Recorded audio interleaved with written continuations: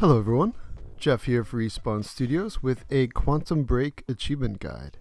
This is very early on in the game, you're going up the elevator in the physics building at the university, and you simply have to sit down for a presentation. This is a very missable achievement though, because he tells you just to follow him, but if you walk to the front seat and just hit X to sit down, you get the achievement.